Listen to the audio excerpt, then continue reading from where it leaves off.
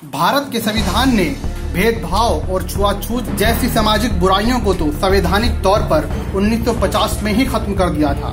लेकिन ये बुराइयाँ समाज में आज तक खत्म नहीं हुई हैं। कहीं स्वर्णों द्वारा दलितों को कुएँ से पानी नहीं लेने दिया जाता है तो कभी उन्हें मंदिर में नहीं घुसने दिया जाता। या कभी दलित दूल्हे को सिर्फ़ इसलिए मारा जाता है कि वो अपनी शादी में घोड़ी चढ़ता है। ये सारा शोषण जाति के नाम पर आज तक जारी है। जाति के नाम पर भेदभाव का एक ऐसा ही मामला तमिलनाडु में कांगेयम के गाँव थैमप्लायम से सामने आया है, जहाँ पर एक नाई ने दलितों का बाल काटने से इनकार कर दिया। जिसके बाद गाँव के लोगों ने नाई कृष्णन को समझाया, लेकिन फिर भी नाई की जातिवादी सोच में बदलाव नहीं आया। जिसके बाद गाँव में तहसीलदार और डीएसपी ने शांति बैठक की और नाई को समझाया।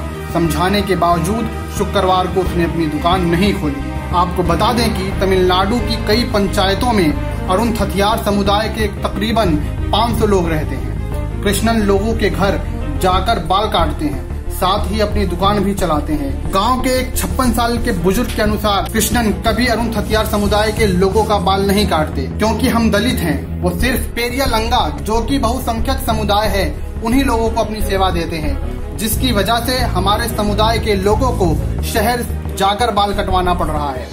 दूसरी तरफ़, नाई के खिलाफ शिकायत करने वाले तमिलनाडु छुआछूत उन्मूलन फ्रंट के जिला सचिव का कहना है कि दलित भेदभाव के बारे में कुछ भी बोलने से बच रहे हैं, क्योंकि उन्हें उत्पीड़न का डर है। सवाल ये है कि आज के समाज में भी जातिगत भेदभाव क्यों है? ये खुलेआम संविधान का उल्लंघन है। जब तक समाज में जाति व्यवस्था है, तब तक इस तरह के भेदभाव होते रहेंगे। Bureau report, national Dastak. Dastak की आपसे गुजारिश है कि अगर इसको बचाना चाहते हैं तो नेशनल दस्तक को सब्सक्राइब करने के लिए रेड कलर के सब्सक्राइब बटन को दबाएँ, फिर बेल आइकन की घंटी दबाएँ।